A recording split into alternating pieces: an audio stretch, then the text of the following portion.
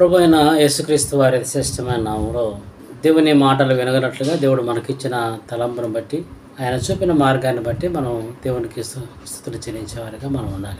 ఎటువంటి పరిచర్య ఆయన చేశాడు? ఆయన పరిచర్య చేయడానికి ఆయన చేసిన త్యాగపూరితమైన ఆలోచన ఏమిటి అనేది మనం పరిశీలన చేస్తే అంటే మత్స్యవార్తలో నా వచ్చినాన్ని మరొకసారి చదువుకుందాం. మత్స్యవార్త ఇరవై అధ్యాయం ఇరవై ఎనిమిది వచనంలో అలాగే మనిషి కుమారుడు పరిచారము చేయుట చేయించుకుంటకు రాలేదు కానీ పరిచారము చేయుటకును అనేకులకు ప్రతిగా విమోచన క్రయధనముగా తన ప్రాణము నిచ్చుటకును వచ్చానని చెప్పాను. అన్నమాట లేక అంటే మనుష్య కుమారుడు వచ్చిన ఆయనకి అధికారం ఇవ్వబడింది. ఎటువంటి అధికారం అంటే పాపములను క్షమించే అధికారాన్ని ఆయన పొందుకున్నాడు.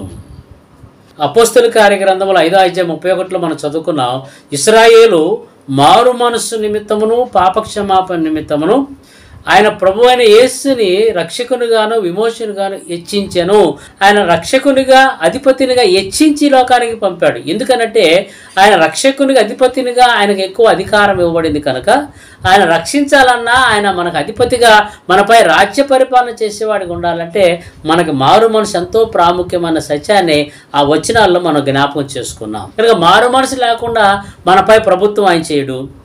మారు మనసు లేకుండా ఆయన మనకు రక్షణ భాగ్యాన్ని ఇవ్వడు అన్న సత్యాన్ని కూడా గతంలో మనం ధ్యానం చేశాం. ఇదనము కూడా ఆయన ఇచ్చి హెచ్చించిన విధానం ఆ విధంగా ఉంటే ఇక్కడ అధికారం పొందిన వ్యక్తిగా ఒక మనుష్య కుమారుడుగా అధికారం పొందాడు. ఎటువంటి అధికారం అంటే పాపములను క్షమించే అధికారాన్ని ఆయన పొందుకున్నాడు. పొందుకున్న ఆయన బోధకుడుగాను ప్రభువుగాని లోకంలో జీవించినప్పటికీ కూడా ఆయన బోధకుడా ప్రభువుగా ఆయన సంబోధించి పిలిచినప్పుడు ఇది న్యాయమే.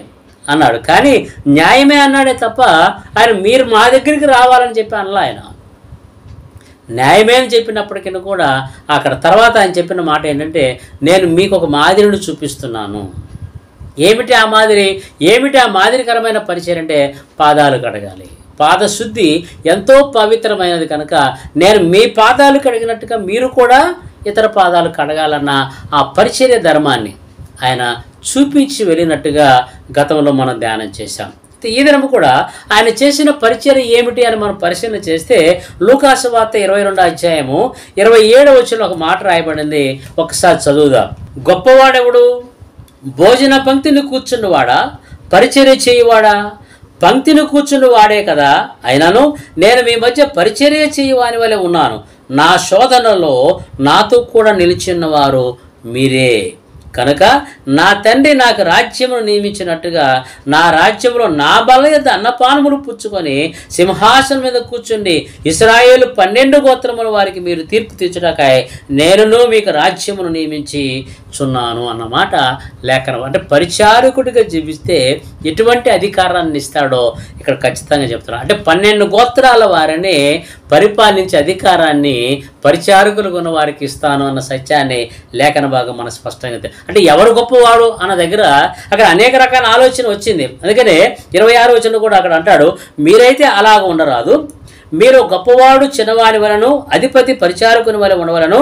గొప్పవాడేవాడంటే భోజన పంక్తిని కూర్చుండవాడా? పరిచయం చేయువాడా?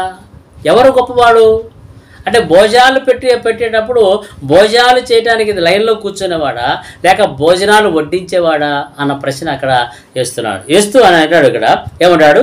కూర్చుండవాడా అని చెప్పి పంక్తిని కూర్చున్నవాడే కదా అయినాను నేను మీ మధ్య పరిచర్యం చే పరిచర్య చేయవాని వలె ఉన్నాను. అంటే అధికారం కలిగిన వ్యక్తిగా ఉన్నప్పటికీ కూడా ఆయన హెచ్చింప ఒక రక్షకునిగా ఒక అధిపతినిగా అధికారం పొందిన వ్యక్తిగా ఉన్నప్పటికీ కూడా ఆయన పరిచర్య ధర్మాన్ని నెరవేర్చేవాడు కొన్నాడే తప్ప ఒక అధికారిగా లేను అన్న సత్యాన్ని అక్కడ లేఖన భాగం మనం స్పష్టంగా తెలియపరుస్తున్నాడు.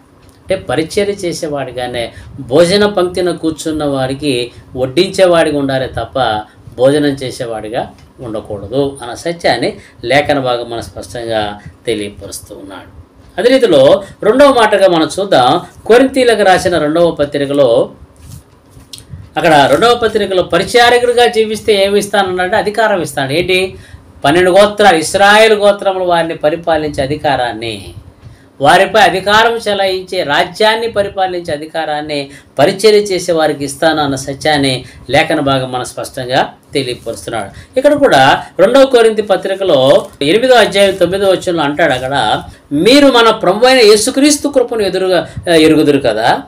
ఆయన ధనవంతుడై ఉండి మీరు తన దారిద్ర్యం వల్ల ధనవంతులు కావాలని మీ నిమిత్తము దరిద్రుడు ఆయను. ఇదండి పరిచర్య ధర్మం.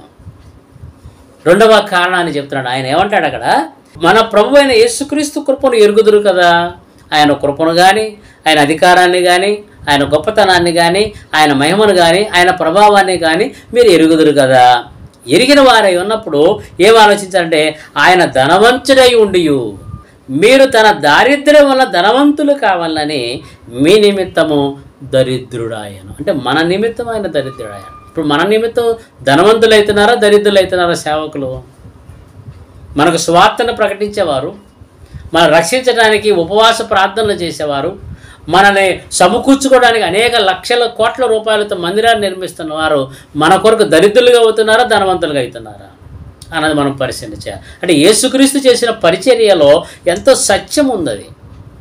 ఎంతో దేవుని యొక్క ప్రభావముతో కూడినది అక్కడ ఉన్నది అన్న సత్యాన్ని లేఖన భాగం మనం స్పష్టంగా తెలియపరుస్తాం. ఈ లోకములో ఈ దేశంలో ఉన్నవారు లేక ఈ రాష్ట్రంలో ఉన్నవారు ఇచ్చేది చాలగా ఇతర దేశాల నుంచి కూడా తెచ్చుకొని సంపాదించుకునే సేవకులను మనం చూస్తున్నాం. వారు దరిద్రులు కావటానికి కాదు వారు ధనవంతులు కావడానికి చూస్తున్నారు తప్ప దరిద్రులు కావడానికి చూడలేకపోతాం. ఇక్కడ ధనవంతుడైన సృష్టికర్త అయిన దేవుడు ఆయన ఎటువంటి కృప కలిగిన వాడో మీరు ఎరిగిన వారే ఉన్నప్పుడు ఆయన ఎందుకరికి దరిద్రుగా మార్చబడ్డాడు? ఎవరి కొరకు ఆయన దరిద్రుగా మార్చబడ్డాడు అని అంటే లేఖన భాగం మన స్పష్టంగా తెలియపోవచ్చు ఎవరంట? మీరు తన దారిద్ర్యం వల్ల ధనవంతులు కావాలని మీ నిమిత్తము దరిద్రుడాయను. మన నిమిత్తం ఆయన దరిద్రుడయ్యాడండి. ఎందుకంటే మనం ధనవంతులు కావాలని అంటే దరిద్రుడు అంటే ఎలా అంటే రిక్తులు ఏమి చేతకాని వాళ్ళ వల్ల ఈ లోకంలో జీవించాడు ఆయన. ఆయన మనుషుల రూపంలో పుట్టి దాసుని పోలికగా ధరి దాసుని పోలికను ధరించిన వ్యక్తిగా ఈ లోకంలో జీవించాడని ఫిలిపి పత్రికలో మనం చదువుతూ ఉంటాం. యేసుక్రీస్తు చేసిన పరిచర్య ఎంత ఉన్నతమైనదో అందుకనే ప్రపంచ దేశాలు ఆయన గౌరవిస్తున్నాయి ప్రపంచ దేశాలు ఆయన ప్రేమిస్తున్నాయి ప్రపంచ దేశాలు ఆయన నామాన్ని స్మరిస్తూ ఆయన దగ్గర నుంచి అనేకమైన మేలు పొందగలనట్టుగా కుటుంబాలు కనపడుతున్నాయి. ప్రపంచానికి ఆయన వెలుగుగా ఉన్నాడు. లోకానికి వెలుగుగా వచ్చిన దేవుడే ఉన్నాడు. అటువంటి దేవుడు ఎటువంటి పరిచర్య చేశాడనంటే అక్కడేమో పాదశుద్ధి చేసిన వ్యక్తిగా ఉన్నాడు. ఇక్కడేమో దరిద్రుడిగా మార్చబడిన వ్యక్తిగా ఉన్నాడు. ఎవరి కొరకు అంటే నీ కొరకు నా కొరకు. నన్ను నిన్ను దరిద్రులుగా ఉన్న మన ధనవంతులుగా చేయడానికి ధనవంతుడైన ఏసయ్య దరిద్రుడిగా మార్చబడ్డాడు. ఇది పరిచర్య ధర్మం అంటే. పరిచర్య ధర్మం అంటే ఆయన కలిగినది దేనిని కూడా ఆయన కొరకు ఉంచుకోనకుండా అది సమస్తము ప్రజల కొరకే ఆయన ఇవ్వటానికి ఆయన పూలుకున్న వ్యక్తిగా ఉన్నాడు. ప్రజల కొరకే ఆయన జీవించడానికి వచ్చిన వ్యక్తిగా. అంటే దాని అర్థం ఏమిటంటే దేవుని చిత్తము నెరవేర్చడానికి మాత్రమే ఆయన ఒక ధనాన్ని సమకూర్చుకోవడానికి రాలేదు ఆయన. పేరు ప్రఖ్యాతిని సంపాదించడానికి రాలేదు ఆయన. ఆస్తిపాస్తులు సమకూర్చుకోవడానికి రాలేదు ఆయన. ఆయన ఎందుకు వచ్చాడనంటే దరిద్రుడుగా ఈ లోకంలో జీవించి దరిద్రులుగా మనల్ని ధనవంతులుగా తీర్చిదిద్ది ఆయన నామాన్ని గనపరచటమే కాకుండా ఆయనకు పరిచారకులకు జీవించే విధానాన్ని. పరిచారకులుగా ఆయన కొరకు కాదు సుమా. మనం అనేకుల కొరకు క్రయధనముగా మన ప్రాణాన్ని పెట్టే పరిచారకులుగా జీవించే విధానం కలిగి ఉండాలని ఆయన ఒక మాదిరిని మనకి చూపించాడు. చూపించిన వ్యక్తిగా ఏసయ్య మన కొరకు ఈ లోకానికి వచ్చాడు. ఇంకా లేఖన భాగంలో ఆయన ఎందుకొరకు ఈ లోకంలోనికి వచ్చినాడంటే అనేక కారణాలు చెప్తున్నాడు. లేఖన భాగంలో ఒకసారి చదువుదాం.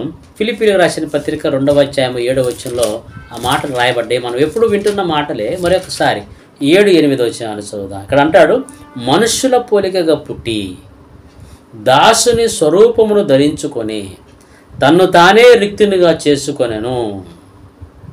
ఆయన ఆయన ఆకారమందు మనుష్యుడిగా కనబడి మరణము పొందినంతగా అనగా శిలువ మరణము పొందినంతగా విధేయత చూపిన వాడే తన్ను తాను తగ్గించుకొనెను. ఇది పరిచర్య కాలంలో ఒక ముఖ్యమైన ఘటనగా కనపడుతుంది. మనుషుని పోలికగా పుట్టాడు ఆయన. పుట్టిన ఆయన ఏం ధరించాడు అని అంటే దాసుని స్వరూపం ధరించాడు. అక్కడ లేఖన భాగంలో స్పష్టంగా దాసుని స్వరూపమును ధరించుకున్న వ్యక్తిగా ఉన్నాడు. దాసుని స్వరూపం ధరించుకొని ఎలా ఉన్నాడంటే నేను బోధకుండే నేను ప్రభువుని చెప్పుకోలే ఎలా అంటే రిక్తునిగా కనపడ్డాడు. అక్కడ స్పష్టంగా రాయబడ రిక్తునిగా తను తానే రిక్తు అంటే ఏమి చేత కాని వారి వల్ల ఆయన చేసుకున్నాడు అంట. ఒక్క నోటి మాట ద్వారా సమస్తాన్ని కలగజేసిన దేవుడు మానవుల దగ్గరికి మానవుని పొరుగుగా పుట్టి దాసుని రూపం ధరించుకొని తనకు తానే రిక్తునిగా చేసుకొనెను అన్నమాట ఎవరో చేశారు కాదు అది.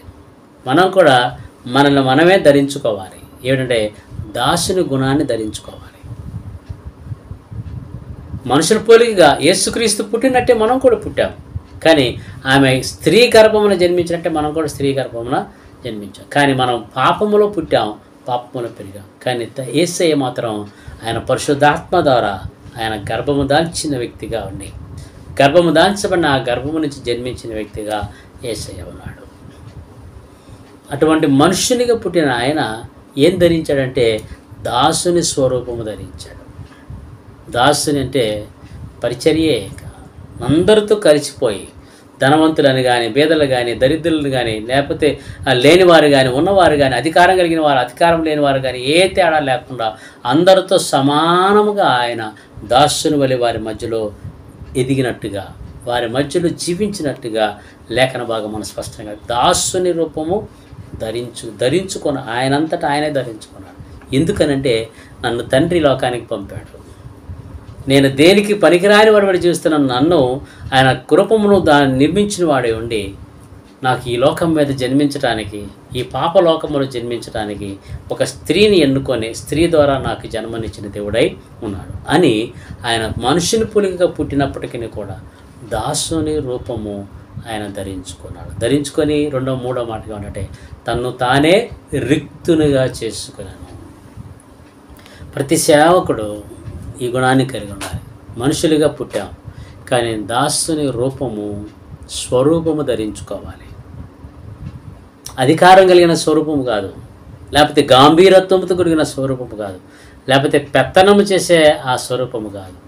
లేకపోతే ధన సంపద కొరికే జీవించే ఆ ఇది కాదు. లేక పేరు ప్రఖ్యాతులు సంపాదించగల స్వరూపం కాదు. ఏ స్వరూపం అనంటే దాసుని స్వరూపమును నీవు ధరించుకోవాలి. ధరించుకొని నీకు ఒకవేళ ఏ శక్తి అయినా ఉండొచ్చు. స్వస్థపరిచే వరమైన ఉండొచ్చు. ప్రవచన వరాన్ని ప్రవచించే వరమైన ఉండొచ్చు. లేకపోతే అనేకమైన రోగాలను బాగా పోగొట్టే వరమైన ఉండొచ్చు. ఏదైనా ఉండొచ్చు. కానీ నీవు దేవుని దగ్గరికి వచ్చేసరికి లేకపోతే ఈ దేవుడు ఏర్పరచుకున్న ప్రజల దగ్గరికి వచ్చేసరికి నీకు నీవే రిక్తునిగా చేసుకోవాలి. ఏమి చేత కాని వారి వలె వారి దగ్గర ఉండాలి. ఎస్ఐ అదే చేశాడు ఆయన. మానవుల మధ్య రిక్తునిగా జీవించిన వ్యక్తిగా ఉన్నాడు అన్న సత్యాన్ని ఈ వచనమే మనకు తార్కాణంగా కనపడుతుంది. ఇంకా అక్కడ అంటాడు తను తాను వ్యక్తునిగా చేసుకున్నాడు మరియు ఆయన అకారమందు మనుష్యుడిగా కనబడి మరణము పొందినంతగా అనగా శిలువ మరణము పొందినంతగా విధేయత చూపినవాడు. అంటే శ్రమలు వచ్చిన శిలువ శ్రమలు కలిగినప్పటికీ కూడా ఆయన విధేయత చూపిన వ్యక్తిగా ఉన్నాడు. ఎవరి పట్ల విధేయత అంటే ఏ తండ్రి అయితే ఈ లోకానికి పంపించాడో ఆ తండ్రి పట్ల విధేయత చూపించిన వ్యక్తిగా ఉన్నాడు. విధేయత చూపినవాడై తన్ను తాను తగ్గించుకున్నాను ఆయన ఎక్కడ కూడా ఆయన పేరు చెప్పుకోలేదు. నా తండ్రి చిత్తం నెరవేర్చనగాక నా తండ్రి చిత్తము నెరవేర్చుటకే ఇవన్నీ జరుగుతున్నాయి అన్న సత్య ఆయన ఎరిగిన వాడే ఉండి ప్రతి ప్రార్థనకి ముందు లేక ప్రతి ప్రార్థన తర్వాత లేకపోతే ప్రతి సమస్యను పరిష్కరించే ముందు ఆయన చెప్పిన మాట దేవుని చిత్తము నెరవేర్చనుగాక నా చిత్తము కాదు దేవుని చిత్తమే నెరవేరబడునుగాక అన్న మాటలు అనేక రీతిలుగా పలికిన మాటలు మనం చూస్తూ ఉన్నాం. కనుక ఆయన దేవుని యొక్క వాక్యంలో రిక్తునిగా అన్న మాట చాలా విలువైనదిగా కనపడుతుంది. పరిచర్య ధర్మంలో నీవు దాసుని స్వరూపము ధరించే అనుభవంలోకి రావాలి. రెండోది నీకు నీవే రిక్తునిగా రిక్తునిగా అంటే ఏమి చేత కాని వాళ్ళ వలె చేసుకునేవాడిగా నీవు ఉండాలి. నేనే మందిరాన్ని కట్టాను నేనే మందిరానికి సమకూర్చాను. నేనే అనేక మంది సమకూర్చడానికి నేనే కారకునని అటువంటి నేనే అన్న భావం నీలో లేకుండా రిక్తునిగా అంతా దేవుడే చేశాడు. ఇదంతా దేవుని వల్లే జరిగిందన్న ఆలోచన నీలో కలగనట్టుగా నిన్ను నీవు తగ్గించుకోవాలి. నిన్ను నీవు తగ్గించుకోవాలన్న సత్యాన్ని లేఖన భాగం మనకు స్పష్టంగా తెలియపరుస్తున్నాడు. కనుక దేవుని బిడ్డలమైన మనందరము గ్రహించవలసిన ఆవశ్యకత ఎంతైనా ఉన్నది. కనుక అనేకులకు ప్రతిగా విమోచన క్రయధనముగా ఆయన ప్రాణాన్ని పెట్టాడు. దాని వివరణ మత్తయి వార్త ఇరవై ఆరవ అధ్యాయము ఇరవై ఎనిమిదో వచ్చంలో ఆయన ఏం చేశాడు క్రయధనముగా అంటే అక్కడ రాయబడిన మాట ఒకసారి చదువుదాం. ఇది నా రక్తము అనగా పాప క్షమాపణ నిమిత్తం అనేకుల కొరకు చెందించబడుతున్న నిబంధన రక్తము. ఇది ఆయన చెందించిన రక్తం. అంటే అనేకులకు క్రయధనముగా చిందించబడింది ఏంటంటే ఆయన రక్తం చిందించాడు ఆయన. అక్కడ అంటాడు ఇది నా రక్తము అనగా పాప క్షమాపణ నిమిత్తము అనేకుల కొరకు చిందించబడుచున్న నిబంధన రక్తము. నా తండ్రి రాజ్యములో మీతో కూడా నేను ఈ ద్రాక్షారసము క్రొత్తదిగా త్రాగు దినం వరకు ఇకను దాన్ని త్రాగనని మీతో చెప్పుచున్నాను. అంతటా వారు కీర్తన పాడి ఒలీవ కొండకు వెళ్ళిరి. అన్నమాట లేఖన భావం. అంటే ఏమిటి ఆయన క్రయధనముగా చేసింది అంటే రక్తాన్ని చెందించాడు. ఆయన మనుషుల యొక్క పాప క్షమాపణ నిమిత్తము ఆయన చేసిన కార్యం అంటే డబ్బు చెల్లించలా. ఆయన చెల్లించిందంటే తన రక్తాన్ని చెల్లించాడు. ఇప్పుడు మనం కూడా మన రక్తాన్ని చెల్లించలేం కానీ మన రక్తాన్ని చెమట బిందువుగా మార్చగలిగినట్టుగా లేక చెమట బిందువును రక్తముగా మార్చగలిగినట్టుగా మనం చెల్లించే అనుభవానికి మనం రావాలి. ఎక్కడ చెల్లిస్తామండి చెమట? ఏసీలలో కూర్చొని ఫ్యాన్ల కింద కూర్చొని సెంట్రల్ ఏసీలు మందిరాలు చేసుకుంటూ ఉన్నప్పుడు చెమట రక్తముగా ఏ విధంగా మార్చబడుతుంది? ఏ విధంగా క్రయధనముగా మనం సమర్పించగలిగిన వారమే ఉండగలం? క్రయధనముగా మనం చిందించగిన ఆ చెమట కానీ రక్తం కానీ ఎక్కడి నుంచి వస్తుంది? రానే రాదే. అంటే మానవుడు సుఖానికి సుఖభోగాలకు అలవాటు పడుతున్నాడే తప్ప ఇది పరిచర్య ధర్మంలో నెరవేర్చబడినట్లుగా కష్టపడటానికి ఇష్టపడట్లా. కారణం కష్టపడకపోవడానికి ఇష్టపడకపోవడం కష్టపడడానికి ఇష్టపడకపోవడం గల కారణం అంటే మనుషులే దానికి కారణం. అంటే మేము దేవునికి ఇస్తున్నా దేవునికి ఇస్తున్నా దేవునికి ఇస్తున్నాం. దేవునికి ఇస్తున్నప్పుడు ఎవరు అనుభవిస్తున్నారో మనం చూస్తున్నాం. యేసుక్రీస్తు ప్రభు వారు కానీ అపోస్తులు కానీ లేకపోతే మిషనరీస్ కానీ ఈ లోకానికి వచ్చిన వారు అనేక మంది స్వాతం ప్రకటించి అనేక మందిని అన్య ప్రజలమైన మనల్ని రక్షించిన వారు. కానీ వారు ఎప్పుడైనా ఏదైనా అడిగారా మన దగ్గర నుంచి? విశ్వాసుల దగ్గర నుంచి ఎప్పుడైనా అడిగారా వారు అంటే అడగలేదు. కారణం వారు చేసిన పరిచర్య నిస్వార్థపూరితమైనది. ఈ రోజుల్లో జరిగే పరిచర్య స్వార్థపూరితమైనది. స్వార్థపూరితమైనది కనుకనే వారు క్రయధనముగా చెమట కాదు కదా. కనీసం ఒక కష్టమైన వారు పడకుండా చెమట బిందువు కాదు కదా. చెమట చుక్క కూడా కారకుండా వారు పరిచయం చేస్తూ ఉన్నారు. ఇది అందరి గురించి చెప్పే బోధ కాదు సుమా. అనేక మంది ఉన్నారు. కొంతమంది నిజ పరిచారకులుగా నిజ సేవకులుగా కన్నీటి కారుస్తూ ఆత్మ రక్షించిన సంఘాలు ఉన్నాయి. కన్నీరు కాల్చి సంఘాలను కట్టి సంఘ విశ్వాసాన్ని సంపాదిస్తే ఆ విశ్వాసను దొంగతనంగా దోచుకుంటున్న వారు అనేక మంది సేవకులు కనపడుతున్నారు మందిరాలు కట్టి ఆ మందిరాల్లోనికి అనేక మంది లక్షల మంది వెళ్తున్నారంటే ఎవరు వెళ్ళేదనంటే ఇతర సంఘాల వాళ్ళు కని పెంచి కన్నీటితో వారి జీవితాన్ని కట్టి సంఘ సభ్యులుగా చేర్చుకున్న వారిని దోచుకొని పోతున్న విధానం మనం చూస్తున్నాం. అంటే రిక్తులుగా కాదు లేక దాసుని రూపము కాదు వారు మనుషులుగా పుట్టారే తప్ప సాతాను రూపమును ధరించిన వారే ఉన్నారు. దాసుని రూపము కాదు సుమా సాతాన్ యొక్క స్వరూపమును ధరించుకున్న వారే ఉండి దోచుకుపోయే విధానాన్ని మనం చూస్తున్నాం. యేసు క్రీస్తు వారు చేసిన పరిచర్య. అనేకులు ఆయన దగ్గరికి వచ్చారా తప్ప అనేకులు ఆయన యొక్క బోధన వినడానికి ఆయన దగ్గరికి వచ్చారా తప్ప ఆయన ఏ ప్రాంతానికి వెళ్తే ఆయన దగ్గరికి వచ్చారు ఆయన. ఏ ప్రాంతానికి దేవుడు వెళ్ళమని చెప్తే ఆ ప్రాంతానికి ఆ ఏసయ్య వెళ్ళేవాడు. ఏసయ్యతో పాటు తన శిష్యులు కూడా వెళ్ళేవారు. వారు ఎక్కడైతే నిలబడి సువార్త ప్రకటిస్తున్నారో వారి మధ్యలోనికి ప్రజలు వచ్చేవారే తప్ప ఆయన ఎవరి దగ్గరికి కూడా వెళ్ళిన దాఖలాలు మనం చూడ ప్రాంతాలకు వెళ్ళాడు ఆయన గ్రామాలకు వెళ్ళారు పట్టణానికి వెళ్ళాడు. కానీ ఏ కుటుంబానికి ఏ కుటుంబానికి కూడా వెళ్ళాల. కానీ కొన్ని కుటుంబాలకు వెళ్ళాడు ఆయన. స్వస్థపరచడానికి వెళ్ళాడు. అక్కడ కూడా అనేక మంది ఆయన దగ్గరికి వచ్చిన దాఖలాలు మనం చూస్తున్నాం. వెళ్ళినప్పటికీ కూడా మీరు పొలాలు పంటలు వేశారు కదా. మీరు ఆ తోట వేశారు ఈ తోట వేశారు కదా. ఆ తోట నుంచి కొంత భాగాన్ని తీసుకురండి అని ఎక్కడా చెప్పలేదు సుమాదేవుడు పరిచర్య ధర్మాన్ని నెరవేర్చిన వ్యక్తిగా యేసుక్రీస్తు ప్రభు వారు ఈ లోకంలో జీవించాడు. అందుకని ఇక్కడ ఆయన అన్నమాట ఏంటంటే పరిచర్య చేయించుకుంటూ రాలేదు కానీ పరిచర్య చేయుటకు అనేకులకు క్రయధనముగా నా ప్రాణమును ఇచ్చుటకు వచ్చాను అన్నమాట లేఖన భాగం స్పష్టంగా తెలియదు అంటే లోకంలో ఏది లేకపోయినా నా ప్రాణాన్ని ఇచ్చాను మిమ్మల్ని కాపాడతాను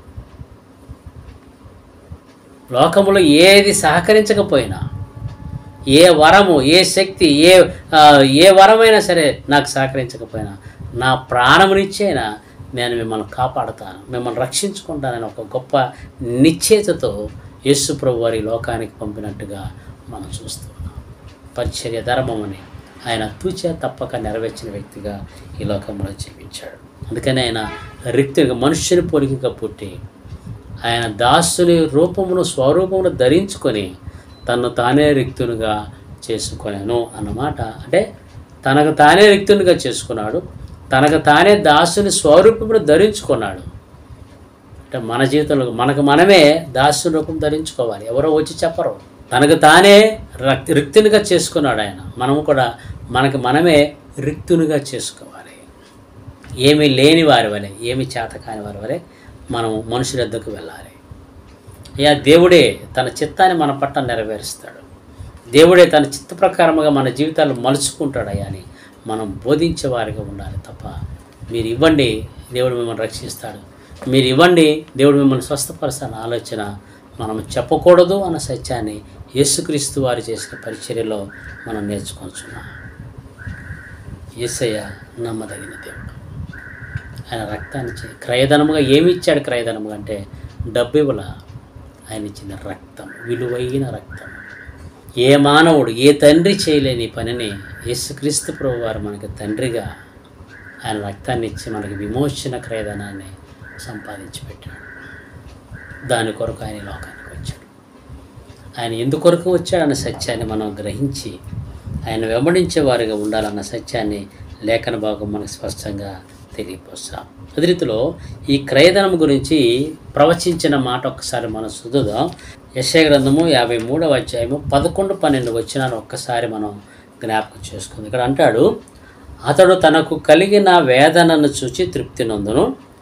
నీతిమంతుడైన నా సేవకుడు జనుల దోషమును భరించి తన్ను తనకున్న అనుభవ జ్ఞానము చేత అనేక నిర్దోషులనుగా చేయును.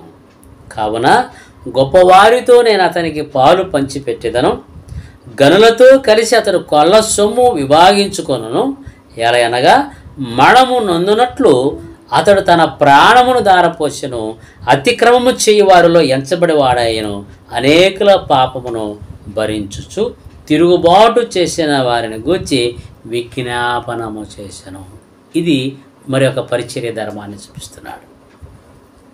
ఏమన్నాడు అక్కడ పదకొండు వచ్చిన అతడు తనకు కలిగిన వేదనను చూచి తృప్తి నందును.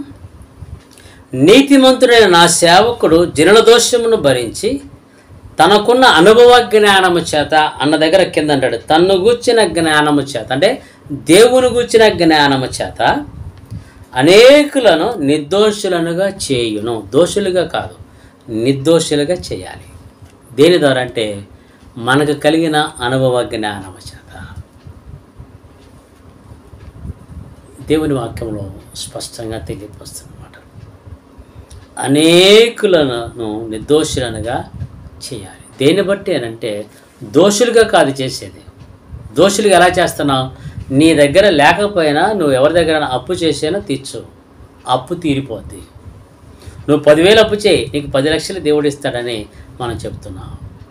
తనకున్న అనుభవ జ్ఞానం చేత అనేకులను నిర్దోషులుగా చేయును అన్నమాట లేఖన భాగం స్పష్టం. అంటే పరిచర్య చేసేవాడు ఏమై ఉన్నారంటే తను చేసే పరిచర్యను బట్టి అనేకులు నిర్దోషులుగా చేయాలి తప్ప దోషులుగా చేయకూడదు.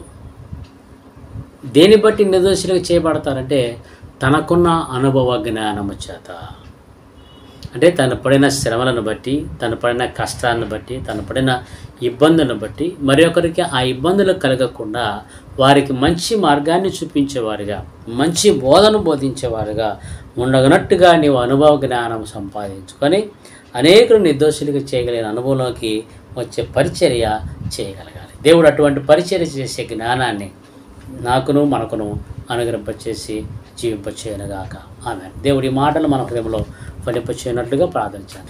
మమ్మల్ని మిక్కులుగా ప్రేమించిన మా ప్రియ పరలోకపు తండ్రి పరిశుద్ధుడ జీవం కలిగిన దేవ ఆశ్చర్యకరుడు ఆలోచనకర్త రాజా ఈ రాత్రి మరొకసారి నీ భాషను చేరి నేను ఆమె కనిపించడానికి నాకును మాకు ఇచ్చిన కృపను బట్టి మీకు వందనాలు చేస్తున్నా అయ్యా చెప్పబడిన వాక్యమునైనా మరి క్రిస్మస్ సందేశంలో ఆరో భాగముగా నీ ముందు నుంచి నీ వాక్య భాగాన్ని తండ్రి మీరు వివరించుకున్న విధానం బట్టి మీకు వందనాలు పరిచయం చేసే విధానం ఏదముగా చేయాలనైనా నేను లేఖన భాగం ద్వారా మాకు నేర్పిస్తున్న. సత్యాన్ని బట్టి మీకు స్థులు స్తోత్రాలు చెల్లిస్తున్నాం. కనుక తండ్రి ఈ ఆత్మీయ స్పర్శ అనే కార్యక్రమం ద్వారా అనేకులకునైనా ప్రకటించబడుతున్న ఈ వాక్య భాగాన్ని విని గ్రహించి అయా సత్యమును గ్రహించే వారు ఉన్నట్టుగా నీ కృప చూపించమని నీ ప్రార్థన చేస్తూ అయ్యా మరి అనేకులకు కాసిన ఆరోగ్యాన్ని దయచేయండి పరమ దయచేయండి. ఈ క్రిస్మస్ దినాల్లో ప్రతి కుటుంబాన్ని కాసిన ఆనందాన్ని కనుక నీ పరలోక దాని సమృద్ధిని కలగచేసి మీరు మయం తెచ్చుకునమని. ఈ దినమంతరం నీ కృప చూపించమని నా ప్రభును నీ ప్రికుడైన యేసుక్రీస్తునామలో ప్రార్థించి వేడుకొంచున్నాను తండ్రి.